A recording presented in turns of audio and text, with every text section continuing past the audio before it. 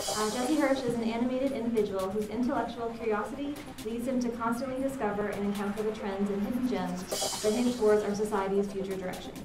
As a syndicated columnist on CBC Radio, Jesse is always researching how technology impacts our lives and connects us to each other. Eager to share his unique perspective, the focus of his work tends to be around network literacy and capacity and, capacity building, so as to empower his audiences in addition to also entertaining. Please welcome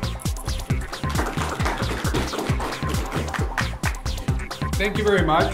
Um, really, this is meant to be a workshop.